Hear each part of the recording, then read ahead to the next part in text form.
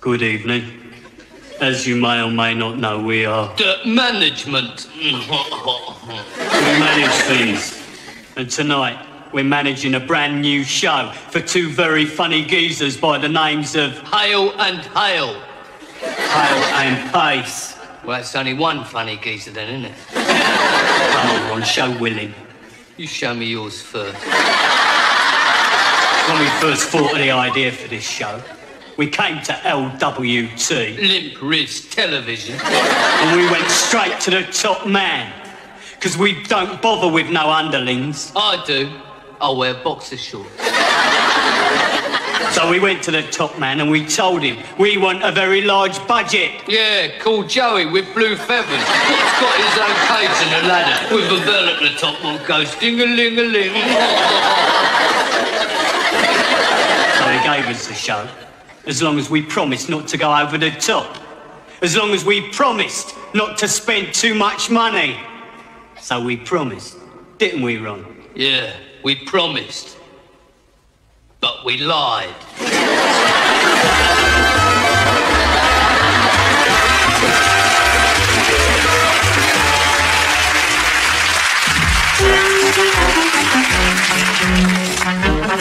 coming.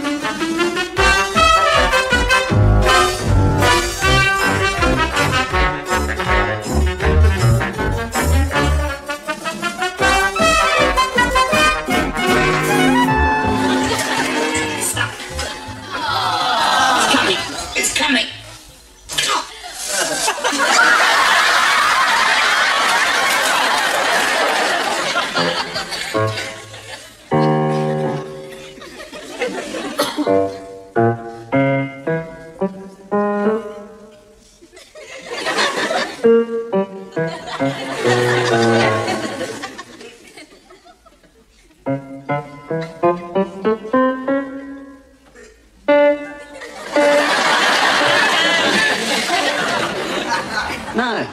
Look, man, I just don't hold with these chicks who say that a guy's wheels are an extension of his penis. No way.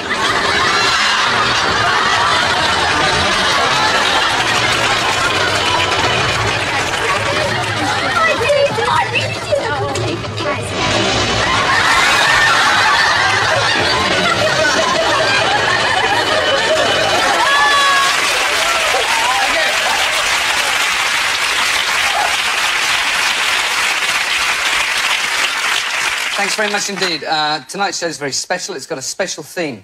It's based on the theme of world peace.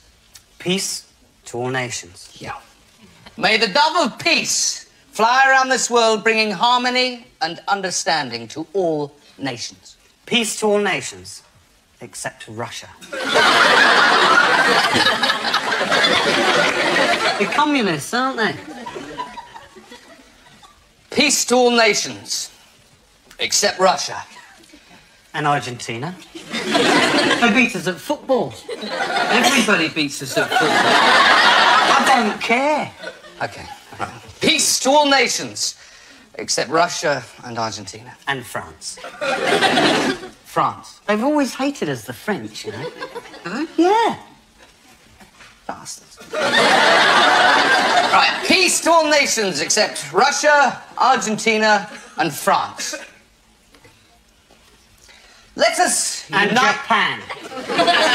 Japan. Gareth, they eat raw fish. Okay, right. Uh, peace to all nations except Russia, Argentina, France. France, And Japan. and Japan. And the Isle of Wight. What do you mean the Isle of Wight? You ever had a holiday in the Isle of Wight? And the Isle of Wight. Here, Ron. They're tittering. I don't like tittering. They're like any coastal towns.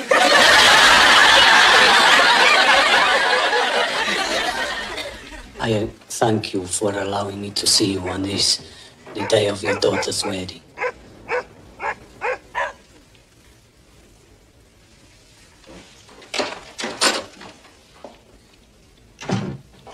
I too have a daughter, a beautiful daughter, a daughter who makes her family proud. Last night, two men. They attacked her. They dragged her screaming into an alley where they defiled her innocent young body.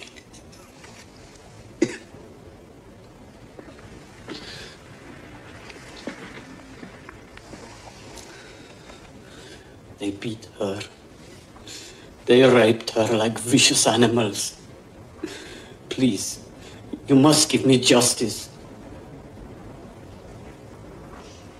Justice. Why'd you come to me, not the police? It was the police who raped her. Fifteen years ago, I offered you my hand in friendship. Not once in fifteen years did you come to my house. You show me no respect. But Not once did you call me godfather. Not once did you attend a meeting of the families. Not once did you collect protection money. Not once in 15 years did you cut off a horse's head and stick it in somebody's bed. Not once do you garrote a traitor and send his family a large fish. Not once in 15 years you assassinate President Kennedy in Dallas. Now, you ask for my friendship. I have been a fool.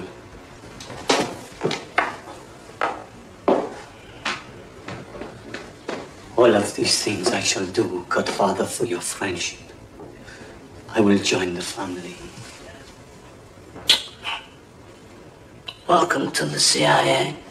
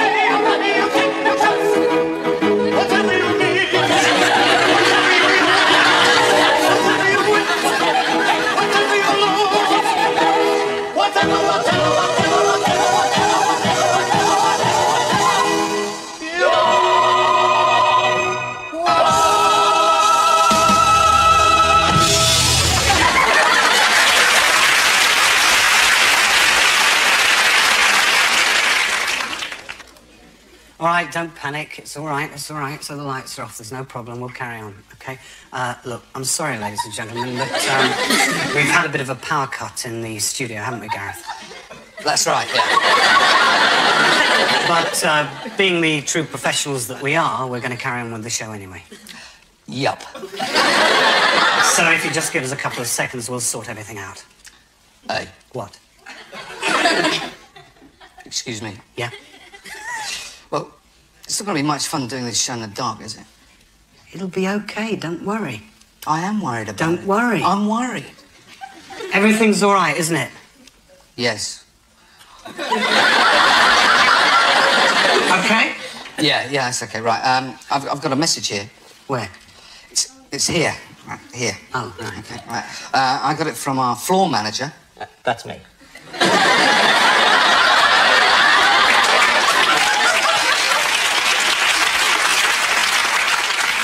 Get off if you haven't already. Sorry. Yeah, yeah. Thanks. What's the message anyway? Yeah, What's the thanks a lot. message? What's the yeah, message? Right, What's the uh, message? well, the message is my batteries have run out. Mine's all right. Yeah, so's mine. I was only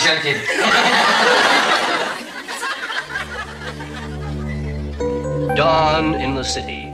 A melting pot of debris, a concrete jungle of trash, junk, garbage, and Australian tourists. The city is a bubbling cesspit of squalor and filth. And that's why we thank God for the dustman.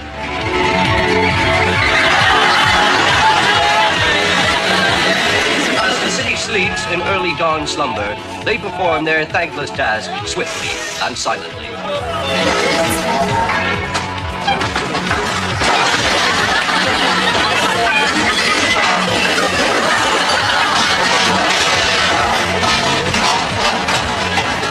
Often risking life and limb against vicious lurking predators.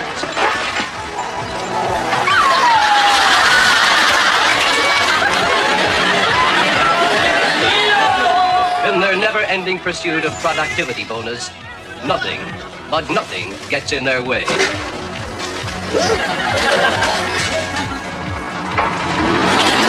Dustmen have a creed. If it's there, shift it. These men have a mission to clean up the streets and make them safe for ordinary citizens.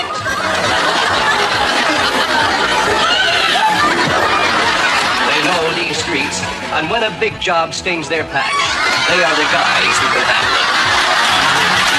They are the privatized dustmen.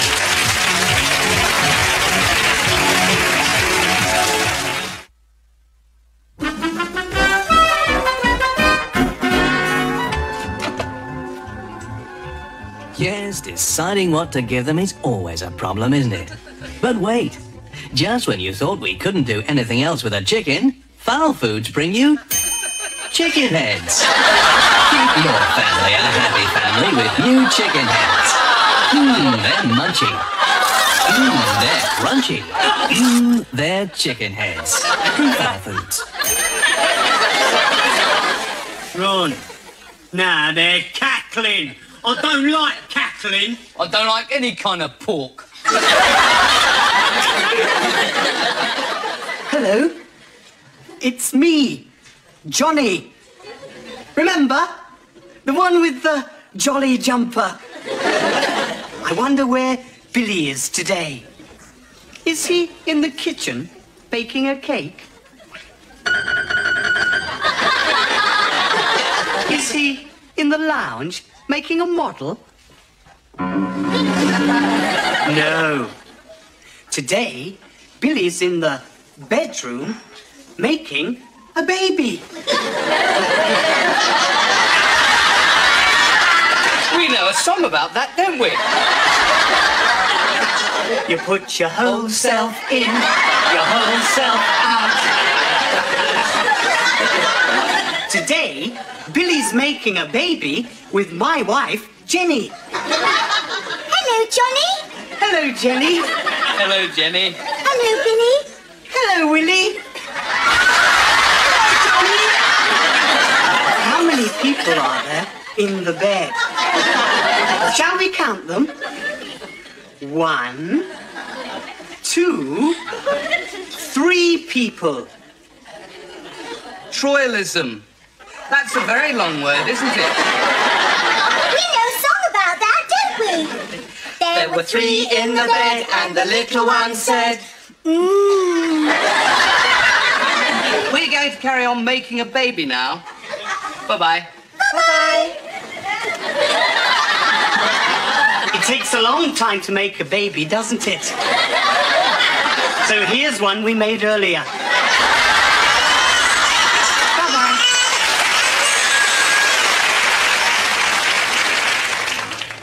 Readings from my latest anthology. Don't be a square, be a rhombus. by Groovy Wordbender. The rhythm of the Congo is coming from my bongo. Forgotten how the song go. Dee-dum.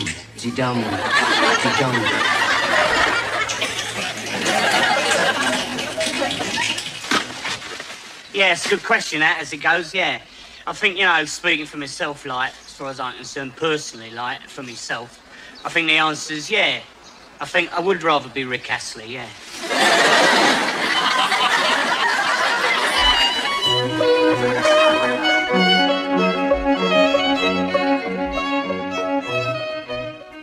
How do you do, and a jolly fine and hearty welcome to this new panel game, which tests one's knowledge of etiquette. And on the panel tonight, Lady Melchester, How do you do? the Marquis of Rochford, How do you do? and Lord Faversham Smythe. Hello. Pinky's on the handbells. First question. You're attending a cocktail evening, and quite accidentally, the hostess, the Duchess of Partick, knees you in the groin. What is your proper form of address? Oh, uh, thank you, your ladyship. No, no, sorry, I'm going to have to throw that one open. You say, mind my bollocks, you clumsy old car.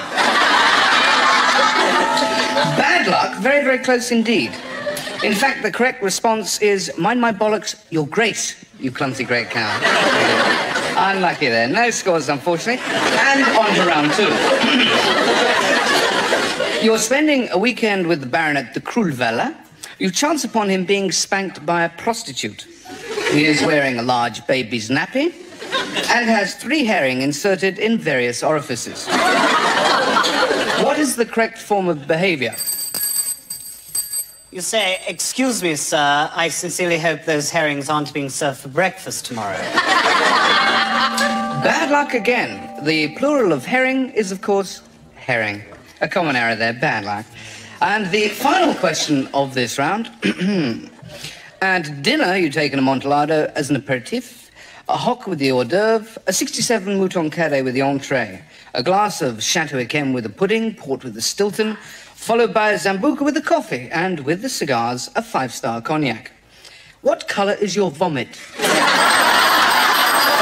Lady Melchester. Green.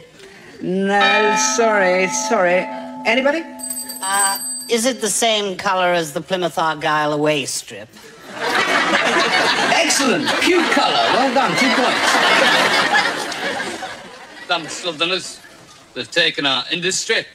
They've taken our jobs. They've taken our best brains. And they've taken our ideas. But there's one thing they'll never take from us. That's our sense of humour.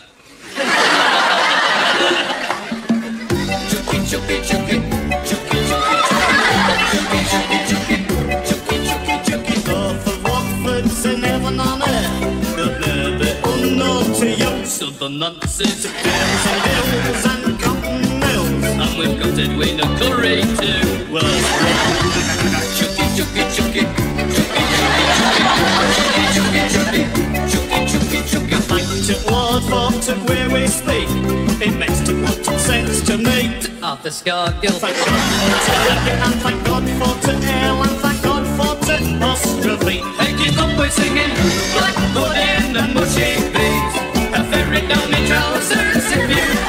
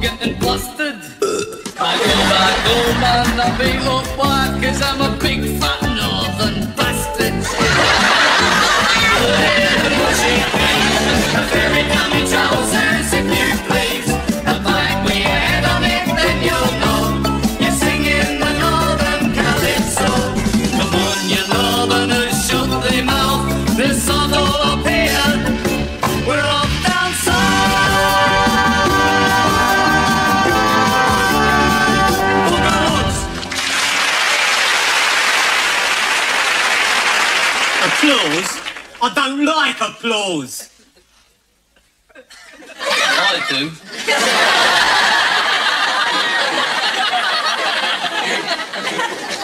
Okay, okay.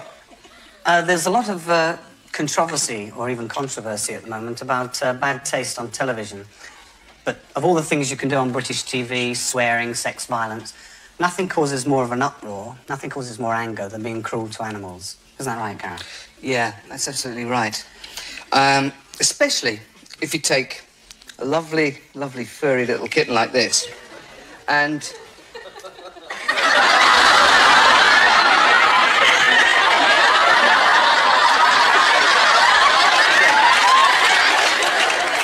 They know, don't they? They know.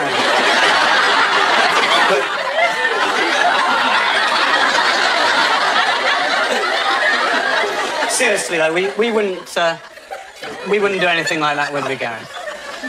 no. Certainly not. I mean, we like to experiment with comedy, but uh, even we wouldn't microwave a cat live on national television. We certainly wouldn't. So, here's one we did earlier.